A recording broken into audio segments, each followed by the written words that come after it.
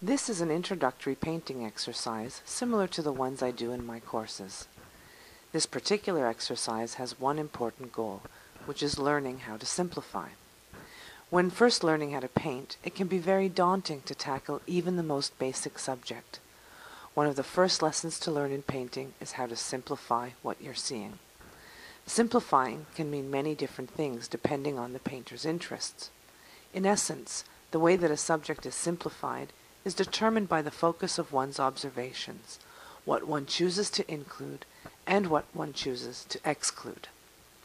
For this particular painting, the aim is to convey the subject with minimal color and detail and still get a sense of light and shadow and three-dimensional form. The variations in color are following a tonal palette. Colors are darkened or dulled down with a complement, and they are lightened with white. Although I may see subtle colors and tones, I'm going to initially ignore them and reduce what I see into two tones for each color. Let's start. Here's a photo of the subject that I'm working on. Keep in mind that I'm not working from the photo, but from observation of the subject in front of me. I will, however, refer to this photo as I go through the painting process. I first start by sketching out the composition onto the canvas. The drawing is begun with some basic geometric shapes. This makes it easy to get the different proportions quickly in place. I'm drawing with a small round brush and paint. The paint is thinned out considerably with mineral spirits until it has a consistency similar to watercolor. This allows the paint to flow freely from the tip of the brush. I felt that the composition was too close to the right side of the canvas, so I've decided to move it further to the left. The initial drawing is erased by liberally applying mineral spirits to it. A soft dry cloth is then used to remove the excess mineral spirits and dry the canvas so that the drawing can begin again. After the geometric proportions are put into place, I refine them into a contour drawing. The final drawing is reinforced with slightly darker paint. Now I will begin to study the colors in order to figure out how to translate them into mixtures of paint. Before colors are squeezed out onto the palette, I will survey the composition one element at a time. For each area of the composition, I want to be able to name the color and find a corresponding mixture of paint. I will look at the hue, the level of saturation, and then the tone. I'm looking for the simplest means of conveying what I see. I will start by mixing a corresponding color for each element of the composition, that is, light and shadow for each area. Here are the colors that I've mixed to start the painting. Let's go over them making reference to the image. Starting with the background, what I see is a dullish red-orange. This means a complementary mixture is needed. This can be cadmium orange and its complement ultramarine blue, but an alternative is to start with an already dull red-orange, such as burnt sienna. In order to lighten the burnt sienna, I add cadmium orange. The more cadmium orange that I add to the sienna, the lighter it gets, but this also increases the saturation. This color mix can be further lightened with white.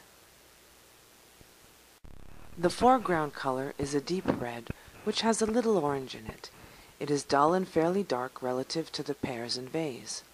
It's somewhere between alizarin crimson and cadmium red. Alizarin can be dulled down with its complement phthalo green, but this mix will also cool alizarin significantly. The red that I see, however, is fairly warm in the light areas. Since I have burnt sienna on my palette, and it is a dull, dark, red-orange, I will mix this with the alizarin to see how it works. It seems to do the job quite well, at least on my palette. When I start to paint, however, I may have to adjust it. I'll wait to see how it relates to the other colors on the canvas before I can be completely certain. The vase is a dull blue that tends towards violet. Ultramarine is a blue that has a slight violet cast. In order to dull ultramarine blue, I'll add its complement cadmium orange. A touch of white will allow me to see the mix better in order to determine if it is too gray or too saturated. The two tones are mixed out. The lighter one simply has more white in it. The pears are yellow with a hint of green. This color is also slightly dull. Cadmium yellow light, when mixed with dioxazine violet, creates a dulled out yellow with a slight greenish cast to it. I will also add just a touch of ultramarine blue to make it slightly more greenish. The lighter version of this color has more cadmium yellow, the darker version has more violet. I start painting by testing key colors in relation to one another. I begin with the background orange tones, placing them close to the vase. I then tentatively lay down the light and shadow tones for the vase and pears. I notice right away that the tone of blue representing the light of the vase is too dark. The other colors seem to work, but I won't know for sure until I've laid them in. The white of the canvas can be quite distracting. It also has a tendency to make all the colors seem dark in comparison to it. Before I continue to paint, I adjust the colors on my palette. Here is the adjusted palette with lighter blues for the vase and an extra light tone for the pear. First adjust the light of the vase with the lighter tone of blue-gray. As I continue to paint, I'm focusing on how each color and its corresponding tone conveys the shape, light, and shadow of the different elements of the composition. Notice that the areas of light versus shadow are clearly articulated. I will also leave a bit of separation between each different color area. This allows me to make adjustments as the painting progresses. The paint is applied using a dry brush. Color is lightly scrubbed into the canvas, creating a thin layer of paint. The paint itself has a touch of painting medium to increase the flow, but not enough to make the surface too slick.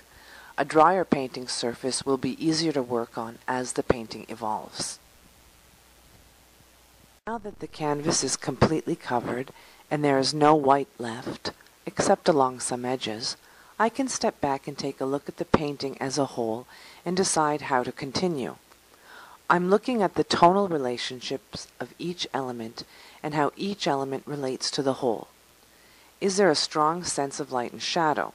Are the shapes well rendered? It is important that the painting as a whole works at this stage. If not, I will make adjustments before I continue to refine it. It seems to work, so now I can move on to the next stage. In this next stage, I'm focusing on how to further refine the shapes and tones. In order to do so, I first add some more tones onto my palette. I start by darkening the shadow of the background and the shadow of the vase. I've added a slightly lighter tone on the lower part of the vase to represent the way that light bounces off the table surface and reflects back into the vase. Next, I strengthen the shadow in the pear with a darker tonal mix of yellow, violet, and blue. I don't want to leave the pears with the striated shadow contours. I gently blend the shadows of the pears. Notice how the pear no longer looks like a flat cutout. I now turn my attention to the vase. I strengthen the shadow areas with the darker blue-gray mixture, and I lighten the upper belly of the vase. The initial shadow contour is refined to follow the shape of the shadow as it curves around the vase. I then blend the contour that separates the light and shadow tone to create a softer transition. Finally, I add a stronger light on the upper belly of the vase. The left pear reflects some of its yellow onto the shadow of the vase. In order to get this color, I mix some of the dull yellow used for the pear into the shadow tone of the vase. The result is the faint greenish circle that you see. In the lower part of the vase, I see some of the red of the foreground reflecting up into it. To get this color, I take some of the red tone for the foreground and mix it into the blue shadow tone of the vase. I can now take a step back and look at the painting as a whole. How do the tonal relationships work? Are the contrasts strong enough? Do the objects have a well-articulated sense of light and shadow? I think that they do. The aim of the painting was to simplify what I observe in the still life into a basic relationship of light and shadow, and yet still create a sense of three-dimensional form. All of these elements are in place, and the composition works together as a whole. I can, at this point, decide that the painting is finished. But I feel that there's something missing, and that I can push it a little bit further. The light and shadow can be enhanced by strengthening the contrasts. The pears are somewhat dull and lifeless. They don't seem to have enough weight. They're not really sitting down on the tabletop. The vase, I think, can also be a bit brighter. Starting with the pears, I want to strengthen their shadows, and I've decided to add the red foreground that reflects up into them.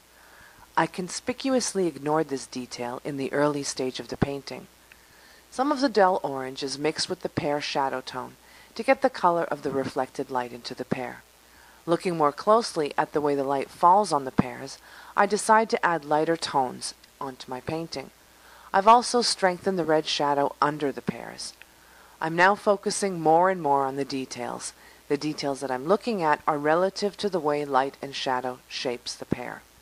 I'm not, however, looking at the minute details. The next step is to once again soften the areas of color that I've added by gently blending the tones into the shadow and in the light. I also blend the contour between the light and shadow. The final details of the pears are added, the bright highlights.